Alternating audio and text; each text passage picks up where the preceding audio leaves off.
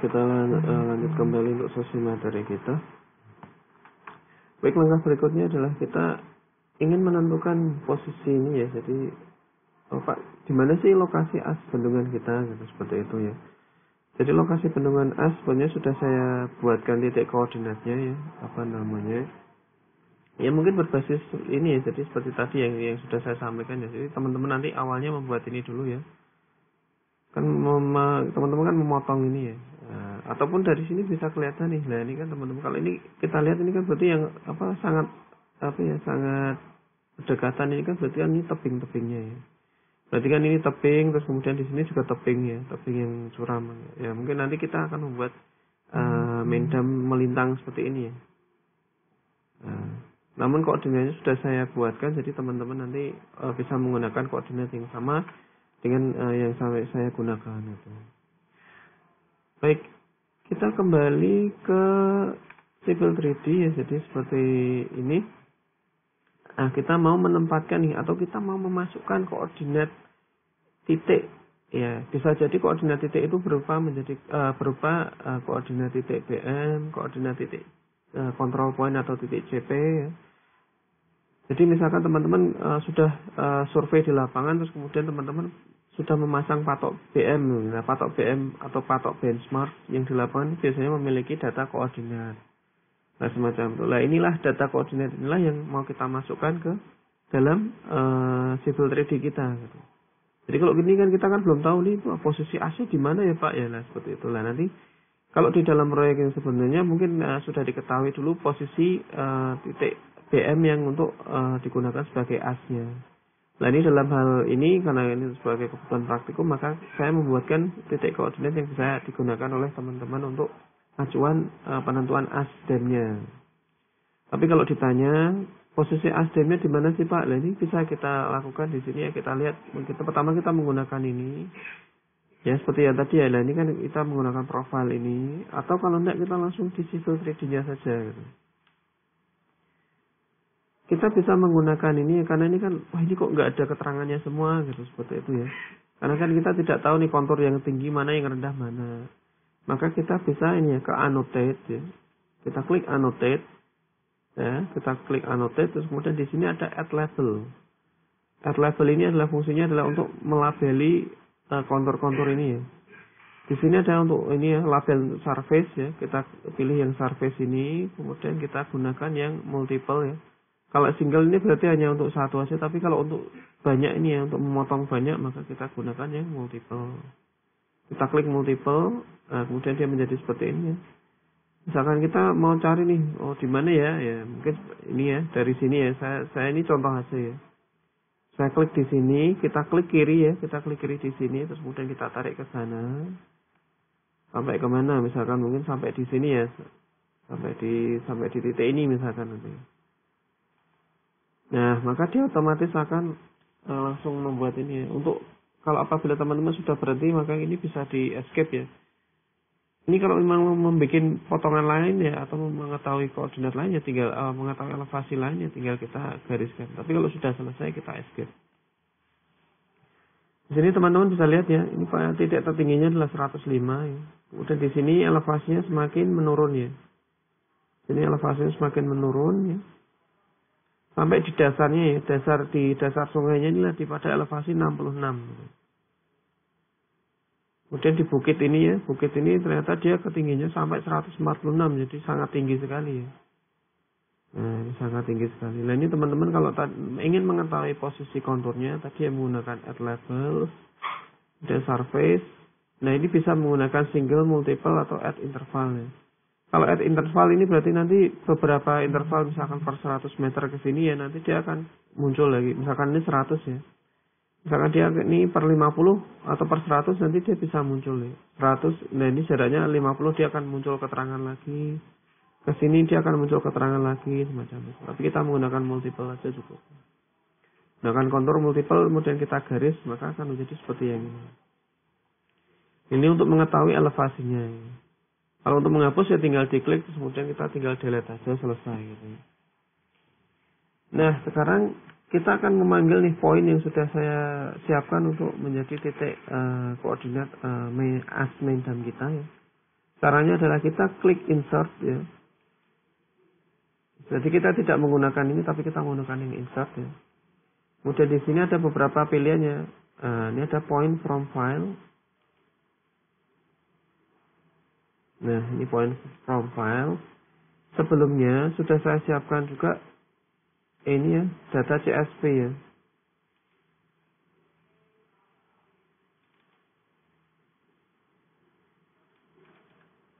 Jadi tahapannya cukup banyak ya teman-teman ya. Jadi nanti teman-teman mungkin bisa berhati-hati ataupun uh, ini ya, bisa diikuti satu persatu ya.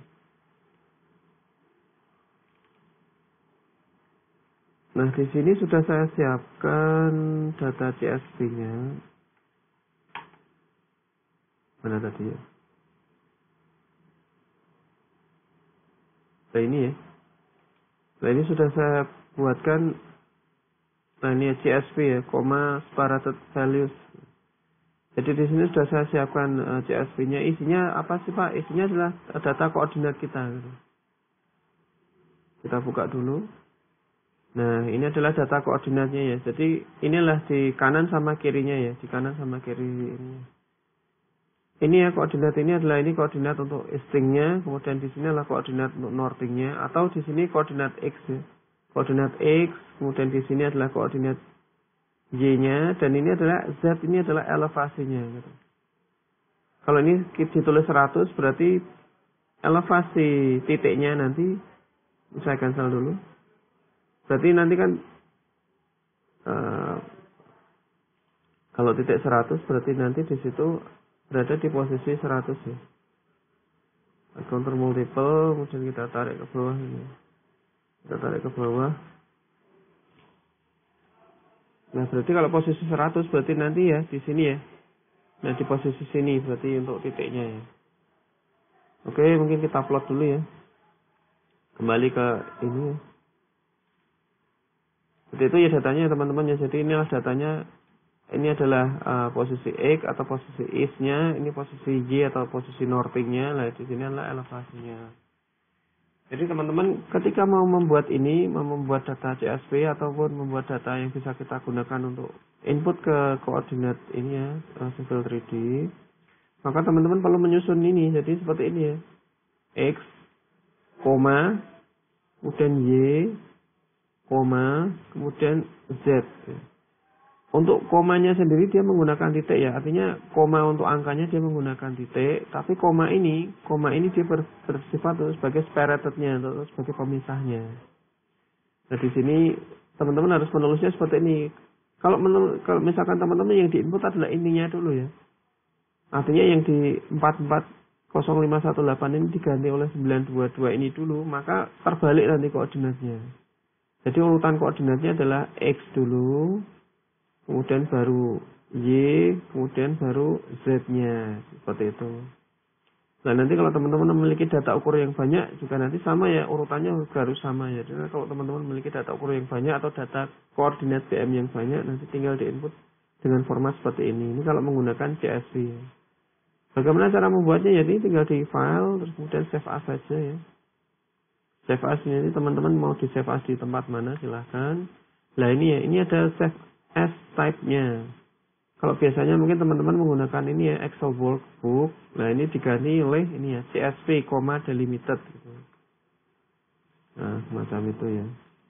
Data kodenya sudah saya buatkan, jadi nanti teman-teman tinggal menginputkan saja. Ini tadi adalah cara bagaimana cara membuat CSV-nya. Lalu pertanyaannya Pak, bagaimana kami mengetahui koordinat ini? Koordinat ini bisa diketahui dari mana? Dari lapangan bisa. Dari data lapangan bisa ataupun menggunakan data sini ya. Data menggunakan ini ini kan tadi contohnya titik uh, asmen damnya kan tadi ini kan ada ininya ya. Nah ini ya kan ada koordinatnya ya. Nah ini ada koordinatnya. Nah, ini bisa juga dimasukkan gitu. Seandainya oh titik titiknya adalah ternyata titik di titik kirinya adalah sebelah sini ya. Tinggal ini kita buat ini ya. Tinggal kita buat tinggal kita copy maaf. Tinggal kita copy ke sini tadi ya. Kita copy ke Excel tadi baru kita uh, isi dengan XY dan Z nya. Atau bisa juga menggunakan ini ya menggunakan gambar ini ya. Jadi kita menggunakan C gitu ya. Uh, menggunakan circle ini. Misalkan aja kita mau menempatkan titik asnya di sini ya. Kita buat sembarang aja. Nah, ini ini mungkin uh, titik BM di bagian kanan ya. Nah ini kita klik, kemudian kita klik properties gitu ya. Nah ini ada properties. Nah di titik tengah ini ya, di titik tengah yang tempat saya bentuk yang berwarna-warna ini, lah ini mengandung unsur ini lah ini center ya, center X, center Y, center Z gitu ya. Nah ini ini bisa digunakan untuk menginput. Nah ini nanti tinggal di ini ya, kita klik terus kemudian kita copy ya, kita copy, kita pastekan ke sini tadi ya, kita pastekan ke sini. Nah ini kemudian koma ya teman-teman ya koma. Kemudian kita ambil Z-nya berapa? Y-nya mas ini sama ya kita klik di ini kemudian kita klik copy nah kemudian kita pastekan di sini ya nah kemudian elevasinya ini adalah elevasi uh, tempat kita mau menggunakan ini ya elevasinya berapa kalau seandainya ini 120 misalkan ya kita isi aja 120 titik seperti ini Nah ini adalah salah satu contoh bagaimana cara mendapatkan data ini tadi melalui mana? Melalui data di Civil 3D-nya. Namun kita nggak menggunakan ini ya, kita gunakan yang sudah saya buatkan aja ya. Ini hanya untuk uh, pengetahuan aja. Oke. Ini saya hapus ya. Saya hapus kita menggunakan dua titik ini aja ya. Nah kita kembali ke sini, kita kembali ke insert ya. Ke insert, kita klik insert kemudian kita ini ada point from file pro points from file kita klik nah di sini kita diminta nih selected files nah kita panggil uh, eh, CSV yang tadi ya CSV yang tadi ya nah ini ya, sudah saya namai koordinat as bendungan saya klik nah kemudian saya open Baik, kita tunggu dulu. Nah, ini sudah ada ya, sudah ada tanda centangnya ya. Nah, ini sudah sudah otomatis uh, ini ya, mendeteksi ya. Ini ada E and Z ya, easting, northing, dan point elevation ya. Seperti tadi sudah saya jelaskan ya, easting, northing, point of elevationnya didapat dari mana tadi sudah saya jelaskan di sebelumnya. Nah, ini silahkan diklik add point to group ya. Biar apa? Biar dua titik yang tadi ya, ya biar titik dua titiknya ini menjadi satu grup ya nah titiknya ini adalah menjadi satu grup ya kemudian kalau sudah ini ya kita oke okay aja ya kita klik oke okay.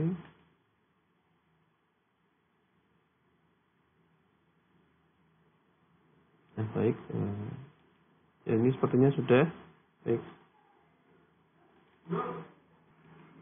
Baik kita lanjutkan kembali ya. Jadi setelah kita tadi melakukan insert ini ya, point from file, terus kemudian kita memanggil apa namanya tadi ya, memanggil ini ya. Memanggil ini ya kita klik, terus kemudian kita open tadi ya.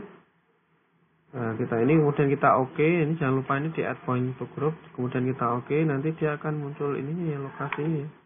Nah ini kalau teman-teman lihat, nah di sini dia ada titiknya nih ya, ada titik ya. Ada titik situ. Di sini juga ada titik lagi nih. Nah ini titik kedua ya. Nah, seperti ini. Nah ini ada titik ya. Nah, ini sudah kedeteksi ya. Jadi titik inilah yang akan kita buat eh, menjadi as bendungannya kalau teman-teman mungkin wah pak ini kok titiknya nggak terlalu terlihat ya? Pak ingin yang lebih besar lagi misalkan contohnya. Bisa ini diklik dulu ya diklik kiri terus kemudian di sini kita klik kanan Nah, mungkin bisa kita lihat poin grup properties ya. Nah, di sini di sini ada beberapa macam-macam ya teman-teman ya. Seandainya ini adalah kita yang punya, oh kita mau kita ganti benchmark ya, itu bisa. Dan kalau mau kita edit ketebalan juga bisa edit current ini ya. Nah di sini bisa kita ganti-ganti sebetulnya ya. Warnanya misalkan ini by layer. Ya semoga sementara ini kita tidak usah kita ubah-ubah kita menggunakan ini. Menggunakan datanya. Nah terus kemudian point label stylenya. Nah ini ada elevation and description. Elevation itu berarti ini ya elevasinya tapi deskripsi karena kita tadi tidak ada deskripsinya. Nah ini elevation only berarti dia hanya memunculkan uh, elevasinya.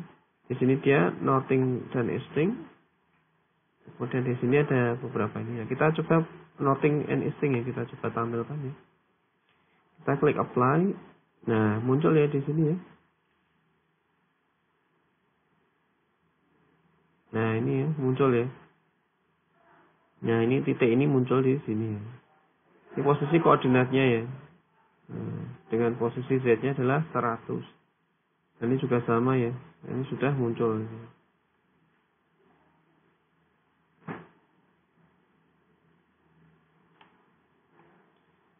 baik itu adalah uh, bagaimana cara untuk menginput ini ya uh, posisi titik ataupun posisi benchmark yang kita gunakan sebagai acuan untuk uh, asmindam ya.